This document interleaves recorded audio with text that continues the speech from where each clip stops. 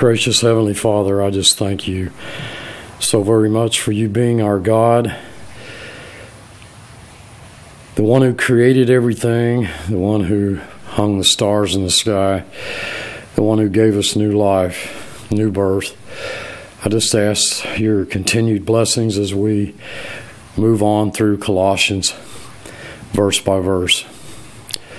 I ask your your blessing upon all those who have taken the time to study through this epistle with us. I ask that you would filter out all the foolishness, but seal to our hearts that which is truth. For it's in Christ's name I pray. Amen. I'd like to begin uh, this study here in Colossians uh, with a scripture reading from John 15, uh, beginning at verse 18. If the world hates you, you know that it hated me before it hated you.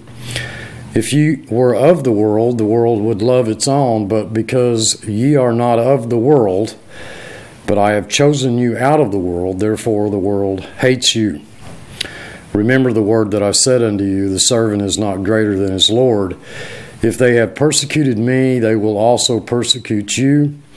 If they have kept my saying, they will keep yours also. But all these things will they do unto you for my name's sake, because they know not him that sent me. Hi, this is Steve at blessedhopeforever.com. We're back to studying together in the Epistle to the Colossians, verse by verse. And in our last study together, we were around somewhere around verse 17, I believe, of chapter 1, Colossians chapter 1, verse 17. Now, as we study what God has done for us in Christ, it's my hope that, that we have our eyes opened to the depths of this passage. Folks, I'm fully aware of the, of the inability that I have to express fully and totally what we're looking at here. In a previous video, we saw that the creator of heaven and earth, the very God who spoke it into existence, is our God. He's head of the church, He's head of the body. In the 16th verse, we see that all things, all things, were created by Him and for Him. And I believe that to include the new creation, our being born from above. That new nature was not created by something that we did. We see in the 17th verse that he is before, that is, the word in the Greek is pro, in front of, earlier than all things. And in, your authorized version should say by him. Uh, it's actually in epsilon nu. In him all things consist, or all things hold together. A uh, another reference to the deity of our Lord Jesus Christ. We see in the 18th verse that we're part of Him. We saw in Ephesians, if you followed us through that study, that we were actually taken out of Christ. In Matthew, that uh, we were sown by God, that the Creator of heaven and earth is our God. We belong to Him we have the testimony of the Word of God that He knows our frame, that it's but dust, that He deals with us as sons, that He knows the way that we take, and when He's tested us, we shall come forth as gold, that He's branded our names on the palms of His hands, that He lights our candle, that He bottles our tears. We also know that He will never leave us nor forsake us the majestic God of all creation is our God, and we rejoice in the truth of the 18th verse. More than that, we find that the head of the body, the church, Jesus Christ, might have, might have the preeminence. The word there means in the in the original text, the word means be first. And it is in the subjunctive mood. I've had to differ with one of my other pastor friends on this, where he he's failed to, to actually recognize or he's unwilling to admit the fact uh, that the grammar clearly states that it is the uh, subjunctive, it's in the mood of uncertainty. Now, many of you who have followed along with these videos, uh, you've probably heard me talk about the indicative mood and the subjunctive mood. The indicative mood is the mood of certainty, the subjunctive mood is the mood of uncertainty. Now, to confirm this, I've created a screenshot showing the indicative mood of certainty twice associated with the word is and the subjunctive mood of uncertainty associated with the word might be. You know, maybe he will be first, maybe he won't. Now we know that objectively he, he is preeminent, but subjectively he may or may not be preeminent, that is, first. He might not come first, he might not be placed ahead of self. Revelation 2 4, nevertheless, I have somewhat against thee because thou hast left thy first love. Look at the text, folks. What it is saying is, He is the head of the body, the church, who is the beginning, the firstborn from the dead, that in all things He might be first. And you are faced with the almost certain reality that those not putting Christ first will become bewildered when you dare suggest that they have elevated man above Christ in the 19th verse, For it pleased the Father that in him should all fullness dwell. Now, you'll note uh, in the authorized version that the words the Father are in italics. They're not there. The translators have chosen to put in the Father, and I don't have any objection to that. That in the Lord Jesus Christ all the fullness dwells. And men have wrestled with this concept down through the centuries, and yet today there seems to be this sort of a sneaky, insidious idea among Christians who've not studied this in much detail that the Lord Jesus Christ, well, he used to be God and somehow emptied himself of his deity.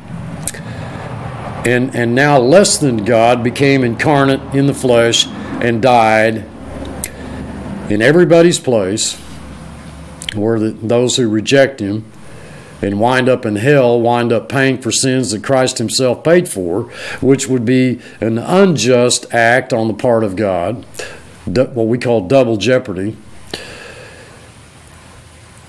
He died in our place. His death for us was substitutionary, not provisional.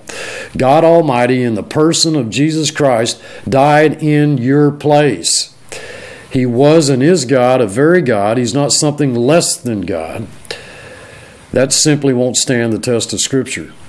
His humiliation was the display of His glory, not the emptying of His divine attributes. Now, it is implicitly clear in the Word of God that He was not always incarnate, He was always man. The Son of Man came down from heaven.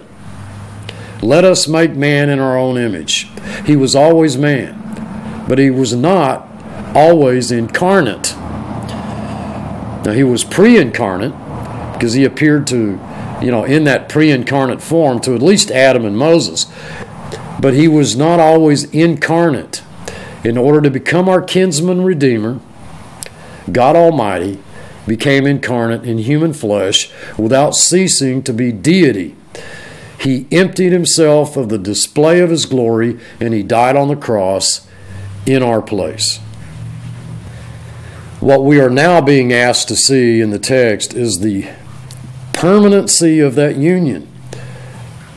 We had in the incarnation the union of God and man, a union that has staggered the understanding of humans down through the centuries.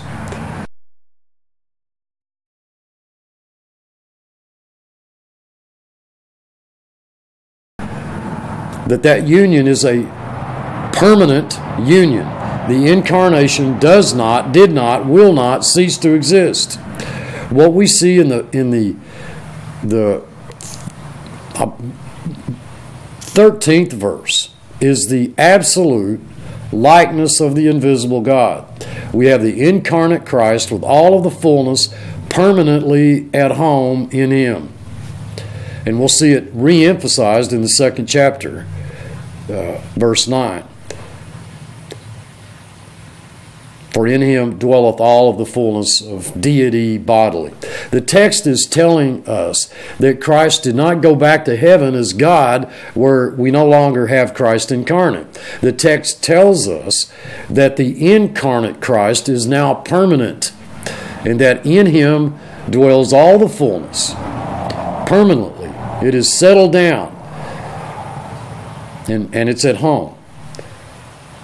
And so we see the continuous, the permanent continuance of the incarnate Christ. And that's why I've suggested to you in, in previous studies that when we get to glory, we're not going to meet God the Father, God the, the, the, the Son, and God the Holy Spirit. We're going to meet God dwelling totally and absolutely in the incarnation, the Lord Jesus Christ. There is a God man sitting on the throne, folks. Now, and if that doesn't excite you, Nothing will.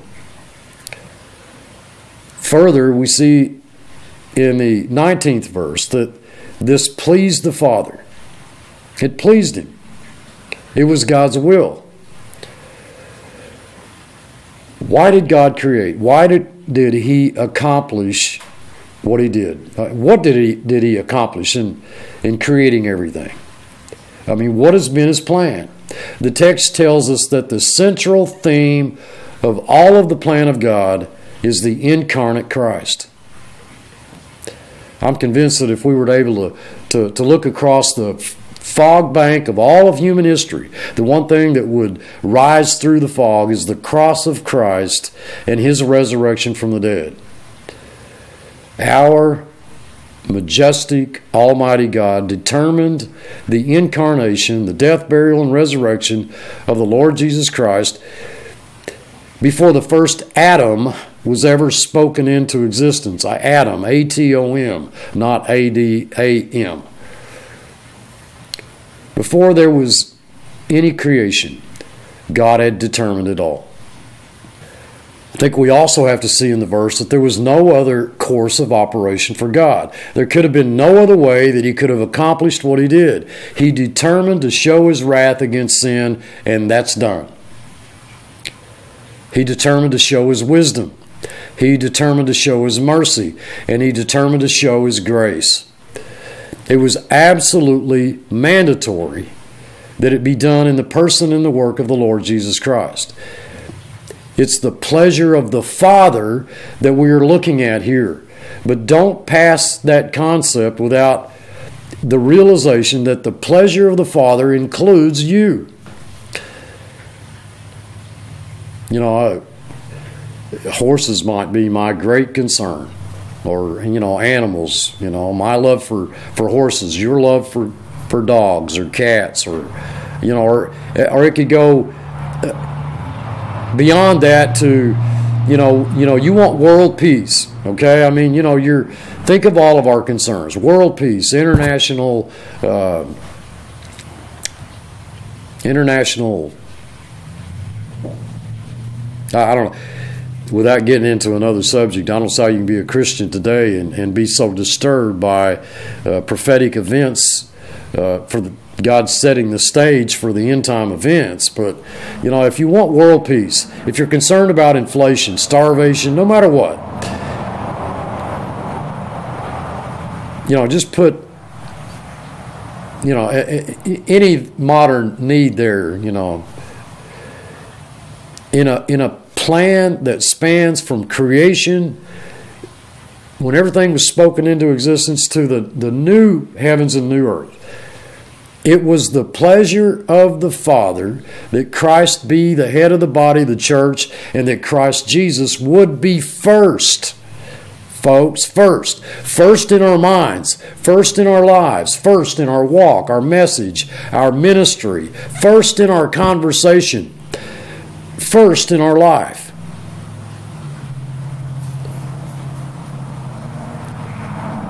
God willed first. He spoke to us first. He acted first. He blessed us first. And yet today, today, we are surrounded by a world religious system that has placed itself before Him, where that it's first.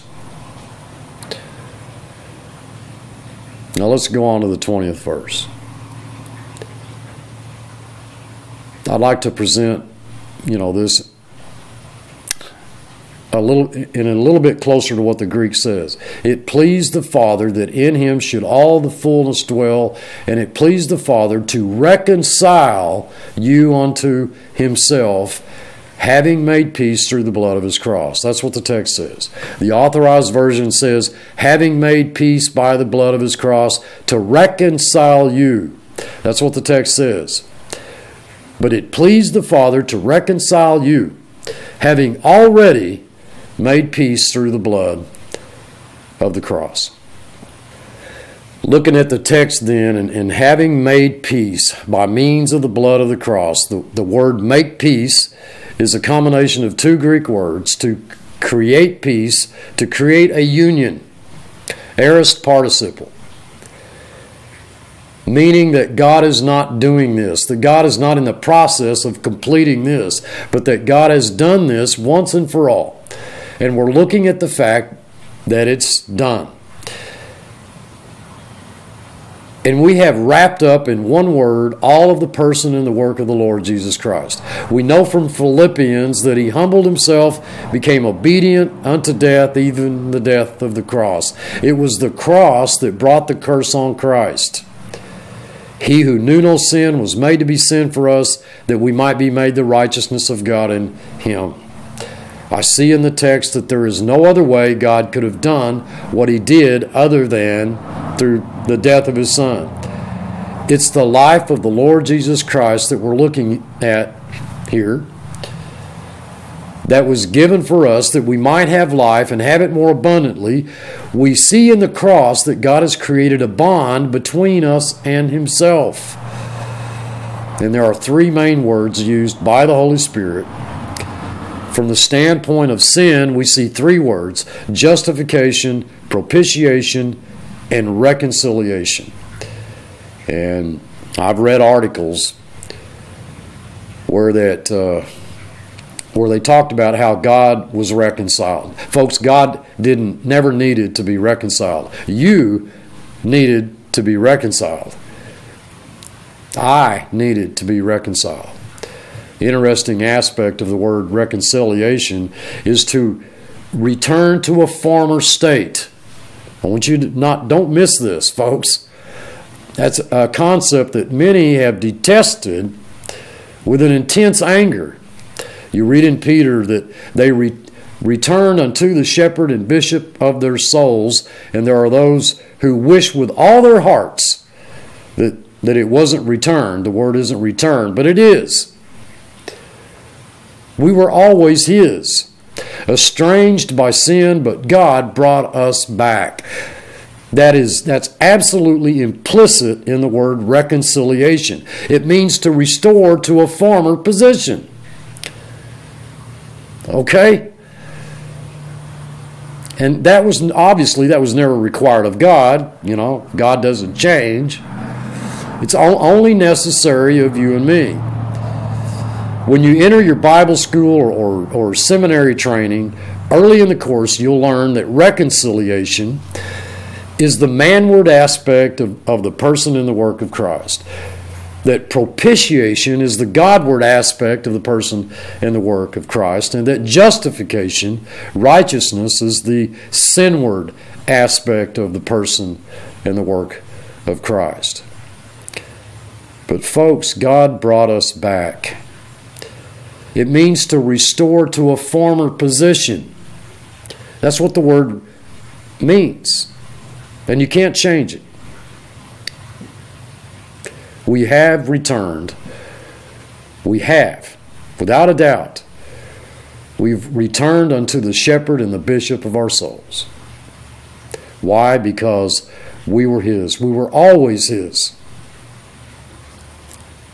Reconciliation, folks, already implies that we belonged to God. Every plant which my Father has not planted shall be rooted up. There's the joy, the rejoicing that wells up in the heart with the realization that I was His before time began.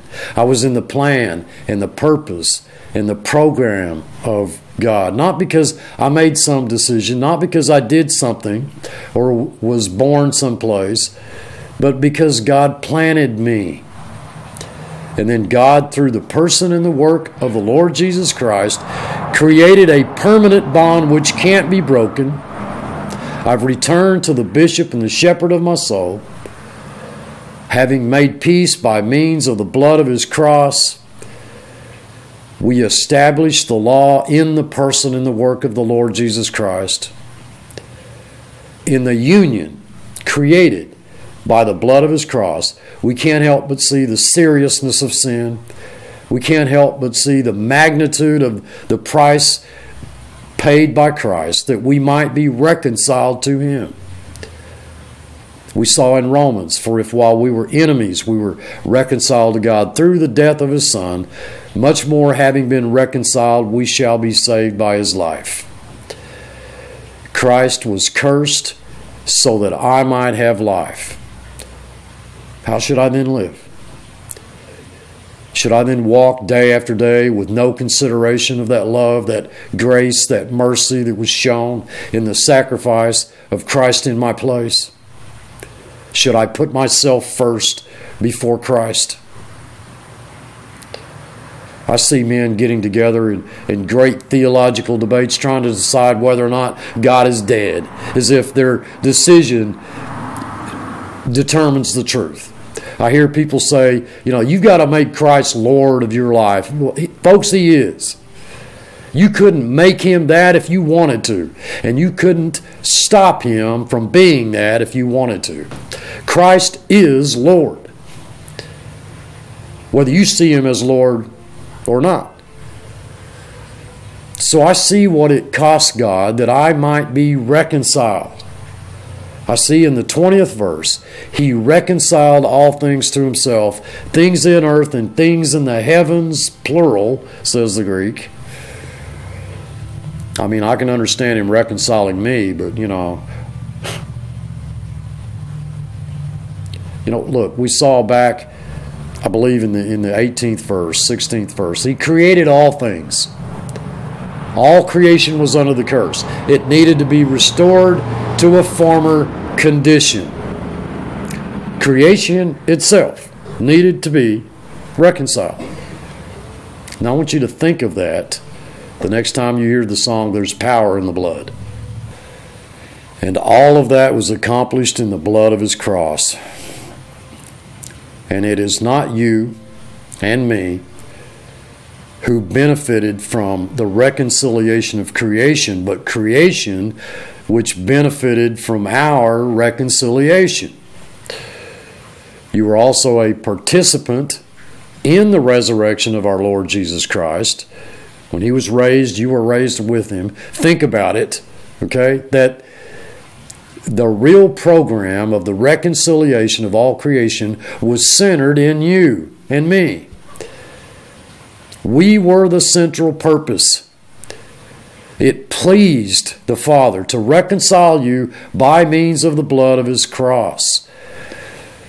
Somehow, I want you to see that, that it, it was not by means of your acceptance, your repentance, your baptism, your commitment, your love, your dedication, your devotion, your belief, but by the blood of His cross. I want you to see that if we are to add any human synergism there, then we, by that much, reduce the blood of the cross.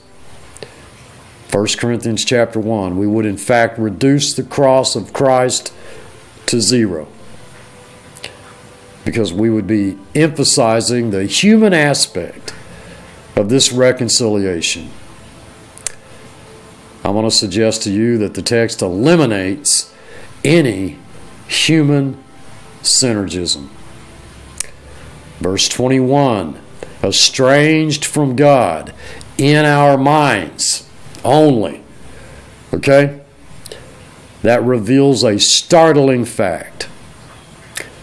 We were always His. Look, I love you all. I truly do. Until next time, thanks for watching.